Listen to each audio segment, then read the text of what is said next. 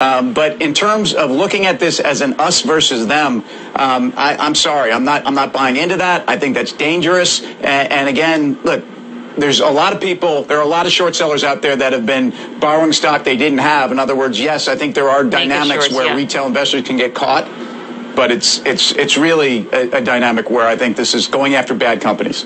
Yeah, but here's what's interesting.